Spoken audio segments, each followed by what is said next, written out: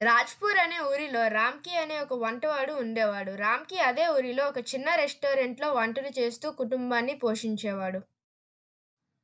అయితే ఆ డబ్బులు కుటుంబాన్ని పోషించడానికి సరిపోయేవి కాదు. ఒకరోజు రామ్‌కి రెస్టారెంట్‌లో పనిచేస్తుండగా అడుక్కునేవాడు రామ్‌కి దగ్గరికి వచ్చి రెండు రోజుల నుంచి ఏమీ తినలేదు. ఏమైనా తినడానుకుంటే ఇవ్వండి.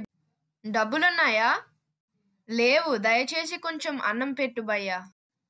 పాపం రామ్‌కిది చాలా దయగలిగుండే గుండె. పేదవాడిని చూసి చాలా బాధపడ్డాడు. తన దగ్గర డబ్బులు లేకపోయినా ఓనర్‌ని డబ్బులు శాలరీలో నుంచి కట్ చేసుకోమన్నాడు. "సరే మీరు ఇక్కడ ఉండండి అని రోటీ ఇంకా కర్రీ పట్టుకొని వచ్చి అడుక్కునేవాడికి ఇస్తాడు. "ధన్యవాదాలు" అంటూ అడుక్కునేవాడు "నా దగ్గర నీకు ఇవ్వడానికి ఏమీ లేదు కానీ ఈ మాయాల సంచి ఉంది" అని రామ్‌కి ఇస్తాడు. దీనితో నేనేం చేసుకోవాలి? ఇది మామూలు సంచి కాదు. ఇందులో నుంచి పానీపూరీలు తీసే కొద్దీ వస్తాయి. సరే మరి నేను వస్తా. రామ్‌కి ఆలోచిస్తూ ఆ సంచిని తీసుకొని ఇంటికి వెళ్తాడు. ఇంటికి వెళ్ళి తన భార్య ఇంకా కూతురికి ఈ సంచి గురించి చెప్తాడు. అవునా ఏండి? వింటుంటేనే నమ్మబుద్ధి కావట్లేదు. నాన్న అయితే నాకొక పానీపూరి చూపించు. ఇదిగో పానీపూరి. చూడు తీసే కొద్దీ ఎన్ని వస్తున్నాయో. నాన్న నాకొక మంచి ఐడియా వచ్చింది. ఏంటమ్మా? పని చేసినా మనకి డబ్బులు సరిపోట్లేదు కదా!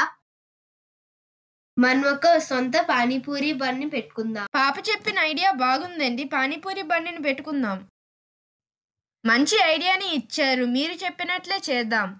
రామ్‌కి ఒక పానీపూరి బండిని పెడతాడు. బోలెడన్ని పానీపూరీలను సంచిలో నుంచి తీసి ఒక బాక్స్‌లో పెడతాడు. ఇంకా కూర ఇంకా పానీను తను తయారు చేసుకుంటాడు. అలాగే రామ్‌కి ఫస్ట్ రోజు పానీపూరీలు అమ్ముకోవడం ముగుస్తుంది. పానీపూరి ఈరోజు చాలా బాగా అమ్మబడింది. చాలా డబ్బులు వచ్చాయి. ఇంటికి తీసుకొని వెళ్తే నా భార్య ఇంకా పాప సంతోషిస్తారు. రామ్‌కి ఇంటికి వెళ్ళి తన భార్య ఇంకా కూతురికి పానీపూరి బండి ఎలా సాగిందో చెప్తాడు. ఇంకా వాళ్ళు చాలా సంతోషిస్తారు. ఈ రోజు మనకి మంచిగా డబ్బులొచ్చాయి. అయితే మనకి కూడా మంచి జరుగుతుంది. నువ్వు చెప్పింది కరెక్ట్. కొన్ని రోజుల తర్వాత రామ్‌కి చాలా డబ్బులు కూడబెట్టి ఒక పెద్ద ఇల్లుని కొన్నాడు. ఇంకా పెద్ద పానీపూరి స్టాల్‌ని కూడా పెట్టాడు.